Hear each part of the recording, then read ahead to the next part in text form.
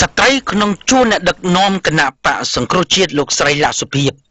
បានបើកកកាយរឿងផ្ទៃក្នុងរបស់ក្រុមគណៈបកសង្គ្រោះជាតិនៅព្រឹកថ្ងៃទី1ខែមករាឆ្នាំ2015នេះគ្រាដែលក្រុមសន្តិសុខគណៈបកសង្គ្រោះជាតិត្រូវគេឃើញថាបាននាំគ្នាព្យាយាមបំបិតសិទ្ធិសេរីភាពបញ្ចេញមតិរបស់លោកស្រី នៅមុខទីស្នាក់ការគណៈបកសង្គ្រោះជាតិលោកស្រីលក្ខសុភាពនៅចំពោះមុខការបណ្ដេញរបស់ក្រុមសន្តិសុខគណៈបក លោកស្រីបានថ្លែងថាសកម្មភាពបណ្ដេញទៅនោះមិនមែនជាអំពើលទ្ធិប្រជាធិបតេយ្យនោះទេយើងចង់ប្រាប់ទៅគណៈបកសង្គ្រោះជាតិថាបើប្រសិនខ្ញុំមានតួនាទីប៉ុណ្ប៉ុណ្នេះគាត់ហ៊ានធ្វើ គាត់ហ៊ានធ្វើប៉ុណ្ណឹងទៅហើយចាស់ទម្រាំសកម្មជនថ្នាក់ក្រោមគាត់នឹងធ្វើបាបទៅយ៉ាងណាទៀតហើយនៅពេលណាទៀតដែលគាត់បញ្ចេញសមាជិករបស់គណៈកម្មការនយោបាយហើយសកម្មជនចេញពីគណៈចក្របកជាបន្តបន្តទៀតហើយយើងឃើញថាអ្វីទាំងអស់គឺជាទង្វើមួយមិនមែនប្រកាន់យកនៅលទ្ធិប្រជាធិបតេយ្យទេចាគ្រាន់តែចូលស្ដាប់ ក្រមសង្គមស៊ីវិល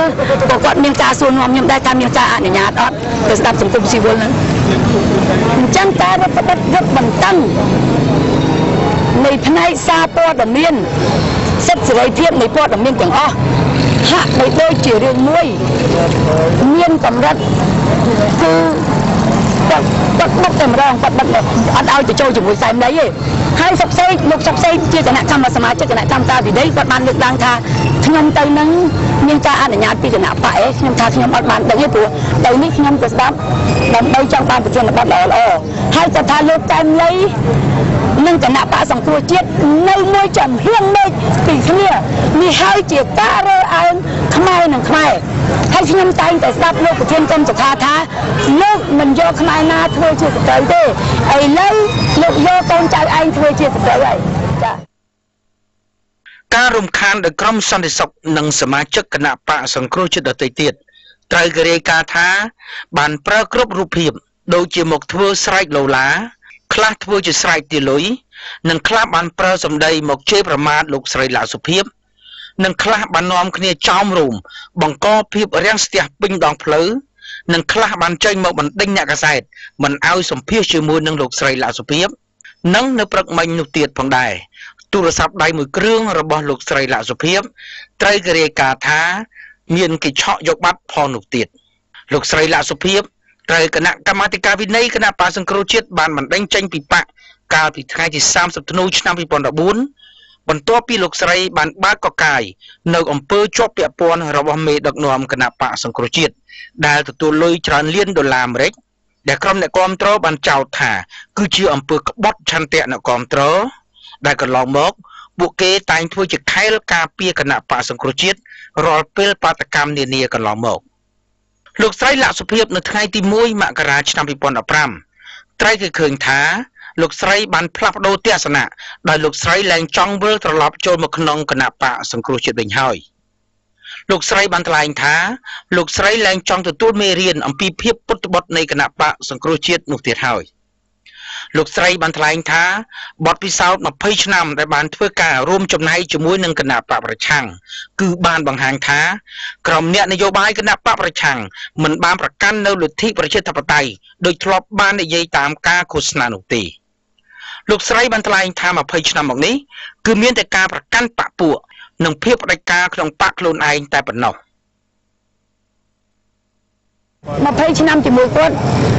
យើងឃើញថាដូចជា20ឆ្នាំនេះដដែលនៅជាដដែលមានគ្រួសារនិយមបពុនិយមណានៅក្នុងគណៈបកនយោបាយឧទាហរណ៍ជាក់ស្ដែងដូចជាគណៈកម្មការអចិន្ត្រៃយ៍សមាជិកគណៈកម្មការអចិន្ត្រៃយ៍មានលោកកំសខាកូនលោកកំសខាមានលោកសំនេស៊ីប្រពន្ធលោកសំនេស៊ីមានគួយបង្រៀនមានអីចៃអៀងដែលជាបងប្អូនថ្លៃមានលោកស្រីកៃសវណ្ណរតមានយមសវណ្ណសិតតែជាសមាជិកគណៈកម្មការអចិន្ត្រៃយ៍ហើយមានអ៊ូចន្ទរតនិងអ៊ូចន្ទរិតសិតតែជាសមាជិកគណៈកម្មការអចិន្ត្រៃយ៍ហើយខ្ញុំក៏ប្រាប់បាននៅក្នុងអង្គប្រជុំខ្ញុំថាសូមឲ្យចែកទម្លុំផ្ទៃក្នុងកុំឲ្យមានគ្រួសារនិយមបពុនិយមបើធ្វើបែបនេះគឺគណៈបកឈានទៅការបរាជ័យនៅឆ្នាំ2018ទៅខាងមុខនៅក្នុងការតវ៉ារបស់លោកស្រីលក្ខសុភាពនាព្រឹកមិញនៅមុខទីស្នាក់ការគណៈបកសង្គ្រោះជាតិនោះសេចក្តីរាយការណ៍បានបង្ហាញថា មានការប៉ះទង្គិចគ្នារវាងក្រុមសន្តិសុខគណៈបកសង្គ្រោះជាតិ និងក្រុមដែលគ្រប់គ្រងលោកស្រីលក្ខសុភាពដោយក្រុមសន្តិសុខគណៈបកត្រូវគេឃើញថាបាននាំគ្នាដេញលោកស្រីលក្ខសុភាពមិនអោយធ្វើការតវ៉ានៅមុខស្នាក់ការគណៈបកសង្គ្រោះជាតិនោះទេលោកស្រីលក្ខសុភាពបានប្រាប់អ្នកកសែតថាមូលហេតុដែលលោកស្រីនាំគ្នាមកតវ៉ានេះពេលនេះគឺគ្រាន់តែចង់ឲ្យសាធារណជននិងក្រុមអ្នកសារព័ត៌មានបានដឹងថាការបណ្ដេញរូបលោកស្រីចេញពីបក កាលពីថ្ងៃទី30ធ្នូកន្លងមក គឺជាអំពើខុសនឹងលក្ខន្តិកៈរបស់គណៈបកសង្គ្រោះជាតិខ្លួនឯងដែលធ្លាប់បានចែកនៅក្នុងបកនោះ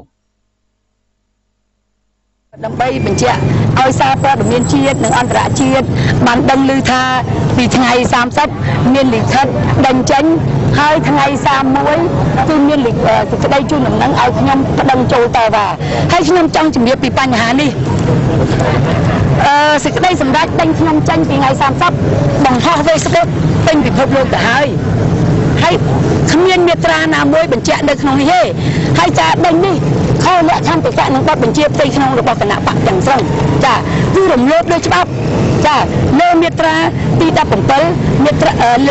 លក្ខន្តិកៈមាត្រាទី17បទបញ្ជាផ្ទៃក្នុងមាត្រាទីទី29ចាឃើញនេះជាការរំលោភ សិទ្ធនៅលើខ្ញុំដែលជាស្ត្រីក្នុងនាមជាស្ត្រីថ្នាក់ដឹកនាំមួយរូបគឺជាសមាជិកសភារបស់គណៈបកសង្គ្រោះជាតិចា៎សេចក្តីរាយការណ៍បានឲ្យដឹងថាការតវ៉ារបស់លោកស្រីលក្ខសុភាពនៅមុខទីស្នាក់ការគណៈបកសង្គ្រោះជាតិនៅព្រឹកមិញត្រូវគេបារម្ភអំពីការប្រឈមនឹងអំពើហិង្សាផងនោះដែរសេចក្តីរាយការណ៍បានបន្តថាដោយសារឃើញស្ថានភាពមិនសូវស្រួល មន្ត្រីអង្គការសង្គមស៊ីវិលបានសម្របសម្រួលឲ្យលោកស្រីលក្ខសុភាពចាកចេញពីមុខស្នាក់ការគណៈបកសង្គ្រោះជាតិពីព្រោះខ្លាចក្រុមសន្តិសុខនិងសមាជិកគណៈបកសង្គ្រោះជាតិដែលប្រឆាំងនឹងលោកស្រី អាចប្រើអំពើហិង្សាទៅលើ